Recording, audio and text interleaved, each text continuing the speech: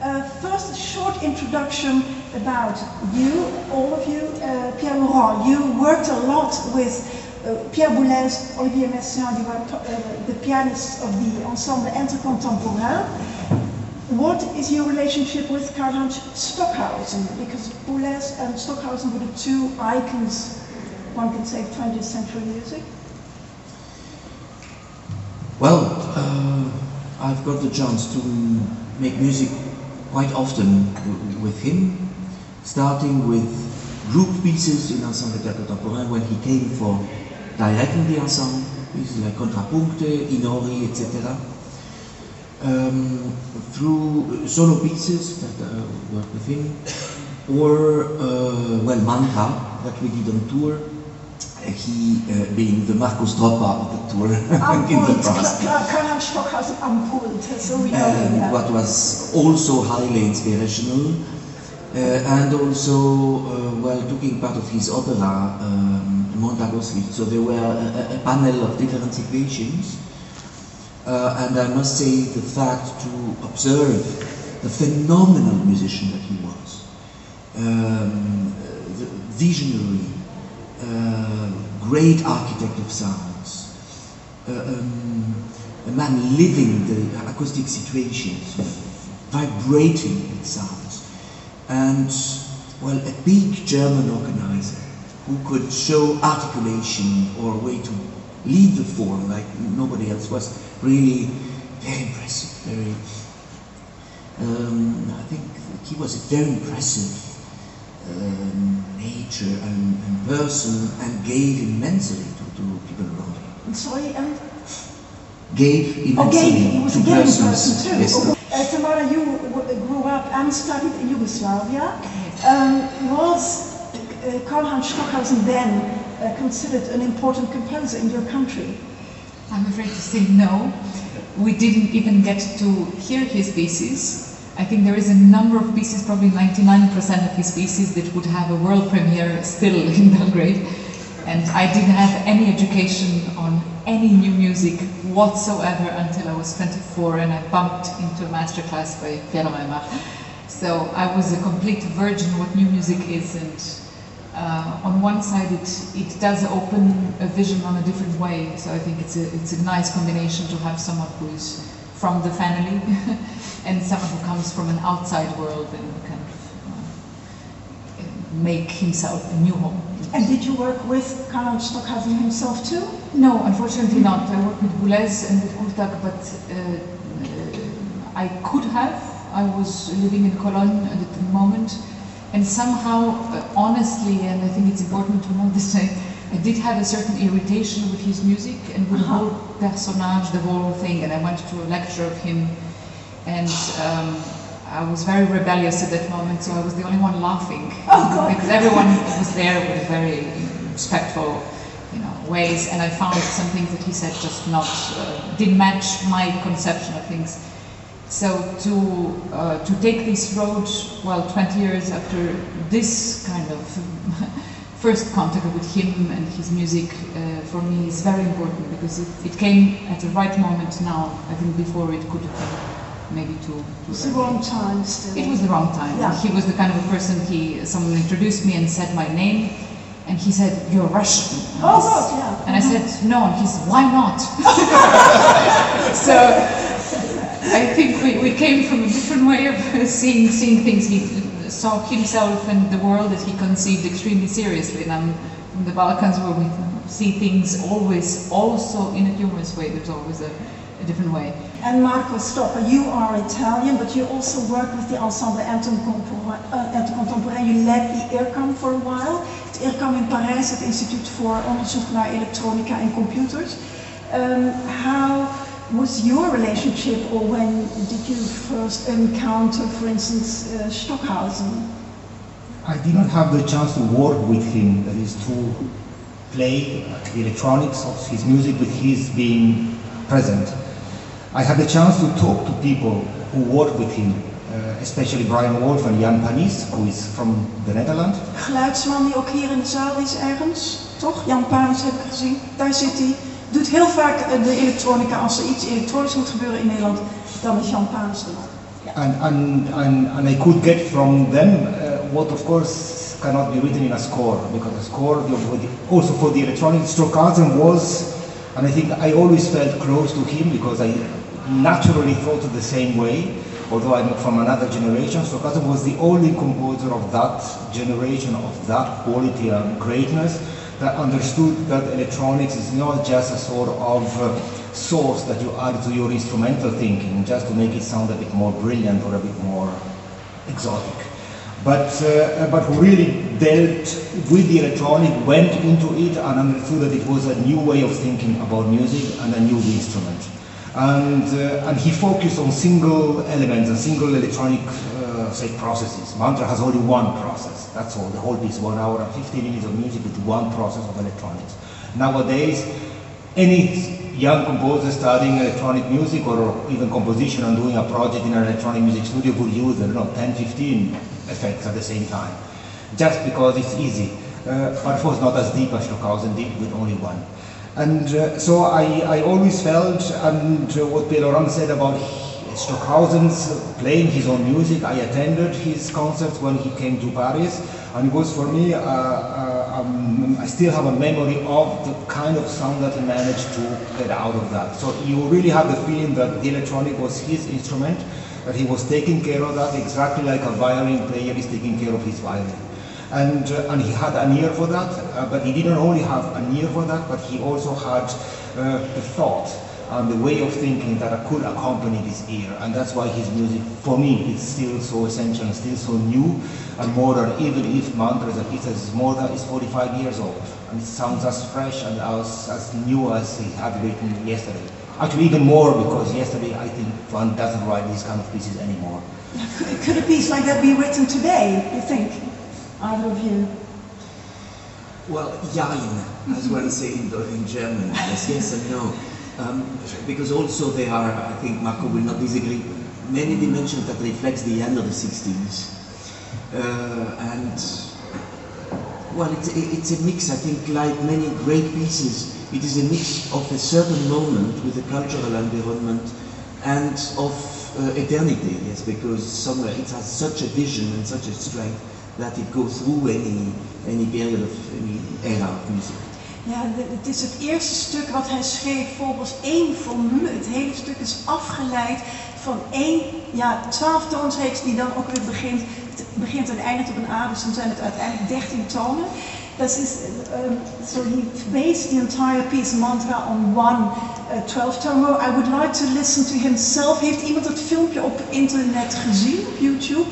Daar vertelt hij zeer uitvoerig over hoe hij dat stuk uh, bedacht heeft, hoe hij het gemaakt heeft. En hier speelt hij het ook voor. He plays it as well, but it's very much out of tune, but that's the only... This is it speaks about the meaning of mantra. The name of the composition mantra was clear fairly soon after I had thought about a composition for two pianos. The very first idea came in a car.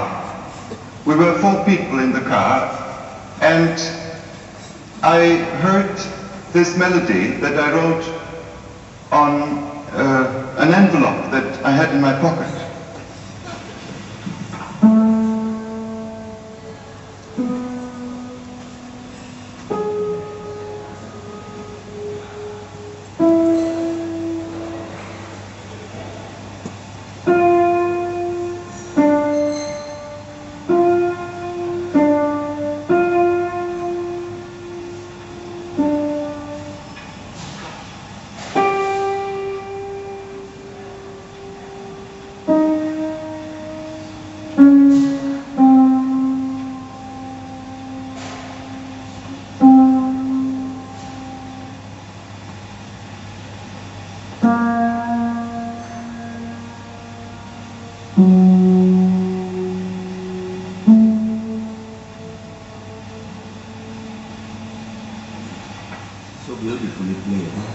Melody has all the 12 different notes that one can, can find in an octave.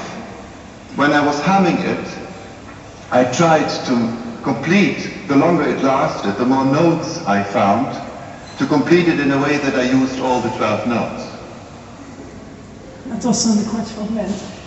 Uh, these 12 notes. Dit is, the, dit is dus de formule. Deze kleine melodie is het begin van het hele 70 minuten durende stuk. Yes, you had a construction with an incredible level of organicity because everything uh, is born in the same egg, so to say. Uh, but each of these different forms and moments in the piece has a particular atmosphere, character, meaning, uh, so that the piece is also from an incredible variety. And uh, Tamara he himself says that each of these 12 nodes has a, one particular characteristic. What, what kinds of characteristics are they?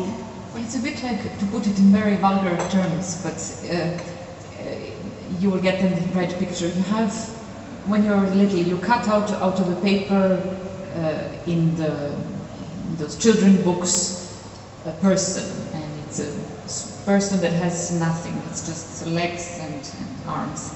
And then you cut out all kinds of clothes. So you are now a policeman, and then you put then you work in a construction, and then you are a princess, and so on. So the same person gets a different life.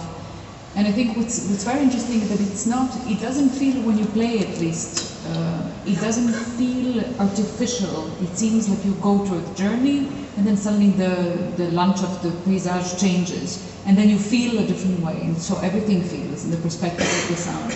So I think the most beautiful thing is that you don't hear always the same thing. It's always there, but you don't perceive it and you say, "Oh, now it's like that," and now it's it's not um, it's not uh, in that sense methodical to a point of being sterile. It seems that you're always making music with it. And Marco, do you, uh, when we listen to the piece, will we hear this little tune that he played for us? Will we recognize it in spite of all these new dressings? Yeah, in also. Oh, I mean, yeah. the, what he played is a skeleton of what he calls the mantra or a formula, which is for normal people just a kind of theme, nothing else than a accompanied theme, a two-voice theme. Now, uh, the difference is that this theme has, as Tamara said, different parts. Each part is very uh, clearly understandable by a certain situation. For example, the first note is not bum, is it ba ba ba bum, so it, it's a repetition in it. Then you have other kinds, you have small notes accompanying the other notes. So the theme is already in its presentation at the beginning of the piece, just after a couple of chords that they are just like a bell that announces the piece. And uh, uh, so the theme is already characterized by different parts that have, as Tamara said, different characters. And he develops that. So there will be a whole section that, for example, is based on repeated notes, because there is the idea of the repetition in the theme. And uh, for me, what is a bit incredible about this piece is that it is intellectually very, very constructed. Uh, it could be sterile if you just think about it because it's really very constructed. There is a theme and each theme and, and it is developed and it comes. So it's, it's just a pleasure to uh, observe how it is made, just from a purely conceptual, intellectual point of view. On the other hand, when you experience the piece, uh, for me it's like a poem symphonique. You go through different different stages. There is a moment where it sounds almost tonal, it's in E flat major with a dominant pedal, sort of kind of gamelan kind of music because of the electronic. There are other moments there is a frenzy toccata at the end, pres- crazy prestissimo just before the coming back of the theme. So you can experience the piece without taking into account all the intellectual uh, construction that is there and makes it strength, of course, because the piece is solid. And uh, just as a pure as a pure piece of music and info, unfolding over one uh, hour and 15 minutes, that is really quite exceptional, I must say. Ja, dat zijn dus crotales, van die kleine eh, soort bekkentjes waar ze met een stokje op, op slaan. Tamara, how do you play them and where are they, these, cymbal, these crotales? Well, Bella has it on the side. I have them in the piano in front of me. So it's a bit like a table with uh, with different plates, but you don't eat. You just put a sound into them. So it's a wonderful way of extending your range of sound as a pianist because we're so confined with the instruments that we have. Of course, the acoustics change, the piano is a bit different, but it's basically you get used to and you start copying your own sound. So to work on this piece with the ring modulation and with the all differences that you can make with the sound, with electronics, plus the percussion, it's, it's an incredible journey for any kind of musician to, to be able to create um, like those, you know, the, the, the one-man orchestra and stuff. Ja, dat trombone yeah. met de trommel. En so the ring modulation, is that what you do? That je hoort die vervorming van die toon, dat gebeurt door die ringmodulatie. First, what exactly is that ring modulation and what do you do and is it prescribed exactly? Oh yeah, it's very completely, completely, definitely written. Now, the, to, to make it easy, it was a very popular effect in the 60s, in the 70s. Now, ring modulation is nothing else than a fast crescendo and diminuendo. Imagine you ask a player to play and a crescendo and diminuendo. So, but very fast, 100 times a second. So I can't do it. I, I can't breathe so fast. But, but so, I, I, think that's a wah-wah effect with the, the pop uh, musicians Yes, use. Uh, no, uh, wah-wah is another effect, it's a change of timbre. Uh, it's wah, wah, oh, yeah. wah, without change of amplitude. Okay. And uh, uh, ring modulation is just a crescendo and diminuendo, very fast. Now, there is an effect for our perception that uh, when it is so fast, of course, we cannot hear the crescendo and diminuendo anymore but uh, because our ear cannot follow this crescendo diminuendo so fast, we hear other pitches, other sounds around the main sound of the piano. Depending on the relationship between how fast the ring modulation is, so the crescendo diminuendo is, and which notes of the piano is played, that is totally computed in the score, uh, you may hear a sound that is quite close to the sound of the piano, or a sound that goes away from the sound of the piano and gets into the sound of the bell. So this piano is constantly, uh, say, traveling between piano and a bell, and piano and a bell, more or less clear. And there are some moments in the piece uh, that are really spectacular about that. There are some moments where Stockhausen shows this, uh, this uh, say, uh, uh, frequency added to the sound. There are some moments where you hear just a, a, a, set of bells on the high register of the piano. There are moments where the piano is more, more like, like, like a piano. So this, so he studied the effect, which is very simple, very, very, very, very easy. And uh, uh, to, to understand, he studied the consequences and the result of the musical uh, effect, and he composed with that. Extremely, extremely carefully and extremely intelligently. And how about you? Do you have any, because sometimes it almost sounds as if it improvised, do you have any uh, space to improvise, to make your own sound, and for instance to use the cymbals or the wood block? No, uh, uh, it's extremely defined and guided, so to say. So we feel guided completely. There are some moments when, let's say, he opens a small window for a certain freedom. For instance, uh, in the way to uh, work on the transformation of the sound. At some moments we play very loud chords, so there is a lot of resonance, and then we vary the sound injected to our sounds that will modify it so that the transformation is like designed by us. And uh-huh. this is more or less free. He guides us. So, so how, I didn't quite understand that. So you, you play a sound and then you change it before Marco does the ring modulation? No, live. Well, we have an iPad and then you'll see us doing this.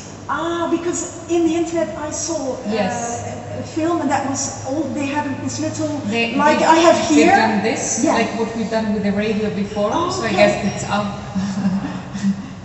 now, so we do this now. Okay. Yeah. So you amplify or what you do? Well, we have a, a choice, we have a margin of how much we can do. Well, in order to create the effect, stop me Marco if I say stupidity, the effect that Marco has spoken about, one should bring the piano sound into a box, into a machine, and to modify it, to inject a sinus sound uh, in order to create this result. And the sinus sounds will be always different. So for each of the 13, 12 plus 1 sections of the piece, each of them corresponds into one note of the, of the mantra. There is one different sinus sounds, mm -hmm. each, well, and in fact, these sinus sounds make a melody that is the mantra. That means the, the transformation, okay. so it is structured by the mantra itself. The transformation of the mantra is structured by the mantra. itself. And well, we control this soundless sound, so for each section we will look for the next sound and try to find it well, and sometimes we play with it. So we can travel, make designs varying the pitch of the sound, or make small tremolo go around the sound, etc. etc. So then each time it is performed, it may be a bit different from bit that time. different, yes, Aha, okay. but in a frame of a very defined structured music. Well, he gives you colors with which to do the makeup, but you didn't do your makeup in, in the way you want. Yes, sir. But the colors are given. And so how is the sound picked up from, because the, the piano is an acoustic instrument, so how do you get your tones into this little machine? Is that via Yeah, microphones? very easily. There are seven microphones around the different parts of the piano. The seven microphones are sent to me, and uh, I mean to the to, and behind to the computer through through a mixing board. And uh, in the, com- the computer receives uh, the microphones, mixes them with the with the sounds live. I'm responsible for the for the mixture of them, so the balance of them. I'm like a conductor. I don't really play an instrument. I control the overall dynamic shapes of what is being played by the effect, by the computer, and by the pianists uh, themselves. And uh, during this process, the pianist will have to change some of the controls of the ring modulator, some of the frequencies, so they do it in a, with the hand. At that time, in the 70s, when the piece was composed, uh, everything was, of course, handmade, uh, custom made. Now the original controllers don't exist anymore, and, and if they had existed, it would not work anymore anyway. And, uh, and nowadays, it's very easy, it's just going through wireless uh, from me to the pianists and, uh, uh, and, the, and you control it to iPads.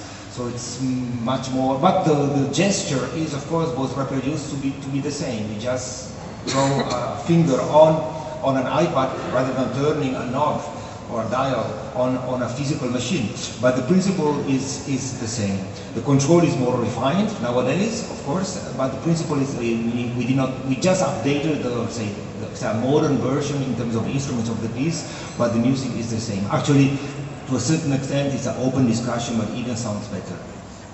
Better now, yeah, yeah. Um, is there also room for um, theatrical aspects, apart from your playing the cymbals? Yes, I, when I opened the score, I said unfortunately there is, but now I'm enjoying it immensely. And that, that was the part you didn't like about Stockhausen, humor. It was it was a different kind of humor because it's very written out humor. So so there is a moment where we uh, should I say or Yeah. should I be surprised?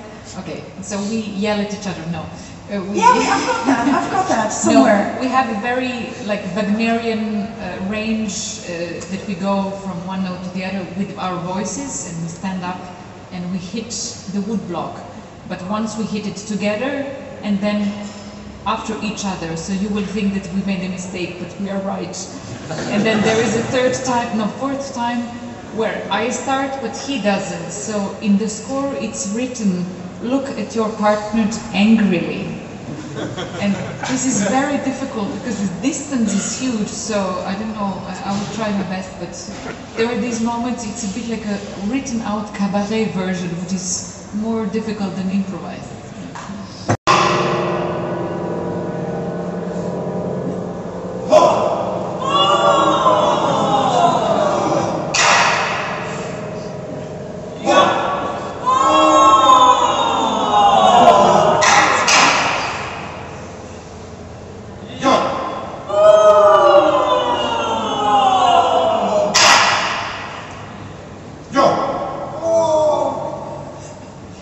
Of course, it sounds so much different because there is a women's now in, in this combination, so of course I go higher up.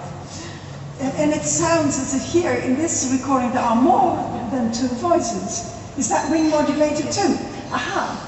You, you, how, so, how do you do that? Have you got an own choice to They set the frequency of the ring, so the, of the speed of the crescendo diminuendo, which is very fast. Normally the speed of music, so uh, A, B, C, I mean, normally tones of music. So imagine a crescendo and diminuendo uh, 300 times a second.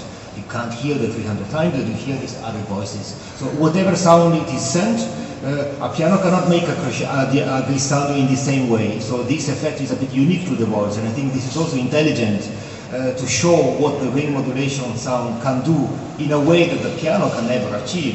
He has chosen glissandi. So it's, it's, a, it's an intelligent way of, of, of staging dramaturgically uh, the effect of the sound. So you have this feeling that one, one voice is going down, there are other voices that go up and down. Actually, there are two main voices accompanying the main voice uh, that are going up and down in different directions. So, um, how do you study a score like this? How long did it take you to learn this score? Or very simply, you you just try to make music with it all the time. That means to bring the sounds to life and to articulate them on the, the right way. means, first of all, I think uh, in this music there is an incredible sense for the sounds themselves. So you have to realize them the best you can. And in order to serve the, the, the imagination of the composer, that you get the right poetic here or the right character there, etc. And then because it is formed so well by a great architect, you have to speak in the right way to articulate the phrases so that you don't have single notes, but really phrases, sometimes interrupted, sometimes very long, sometimes combined. Uh, and well, this phrasing, like in many music, will give shape to the music, will give form. And um, of course, this is very important for such a, uh, uh, uh, music from an architect somewhere is to, to keep, the, one say, the big form, not only the big form, but all the forms, the form of each of the sections and the big general arch, so that you have this extraordinary feeling of a non-stop piece of 75 minutes for piano. When uh, did that happen? Not every day, of course. And Tamara, is it not confusing to have to play the piano, to have to uh, to, do the ring, or uh, not, not the ring, but, but the sounds, uh, and, and to do the, the crotales, etc. Now you just reminded me that yes, it is scary. I forgot it for a moment.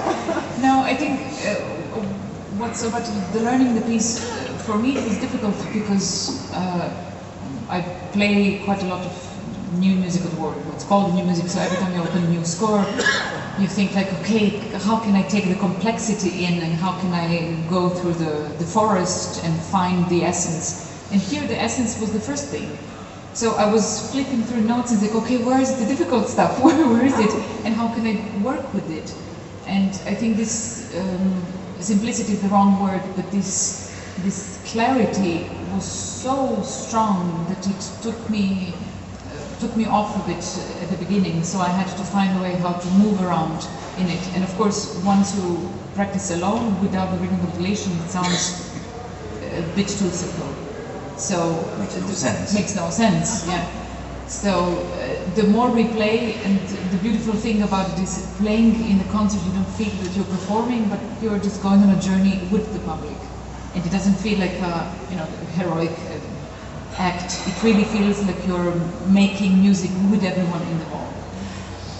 I see we have to stop. One final question to you. It, it, says indeed that the audience almost is part of the performance. In, in what way is that conceived? Imagine that you have in front of you a huge instrument that is made of two pianos and five loudspeakers around you. They're all fused in the same space. All the sound comes from the stage. There is no sound like often in electronic pieces where the loudspeakers are in the hall and then you hear the sound turning around your heads and so on. But there you have just in front of you a huge stage and made of these, say, sound generators, which two pianos and five loudspeakers, and, uh, and this uh, huge instrument uh, metamorphosizes itself into different kinds of colors that a piano alone or two pianos alone never can achieve.